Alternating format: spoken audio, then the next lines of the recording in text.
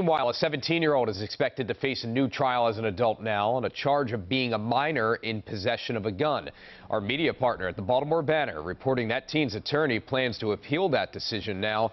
The suspect allegedly brandished a gun at the Brooklyn Day event hours before that mass shooting that left two people dead.